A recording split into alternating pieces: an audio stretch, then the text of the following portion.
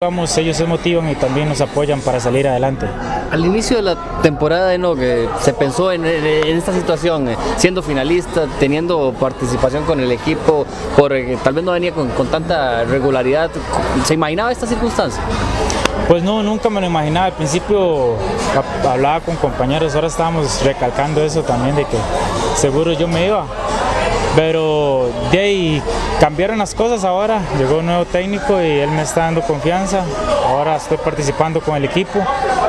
Y pues ahora que, que pase todo esto no sé qué irá a pasar, entonces eso me da mucha confianza para, para seguir adelante con metas que tengo en mente como siempre, entonces hay que ver qué, qué sucede ahora en adelante.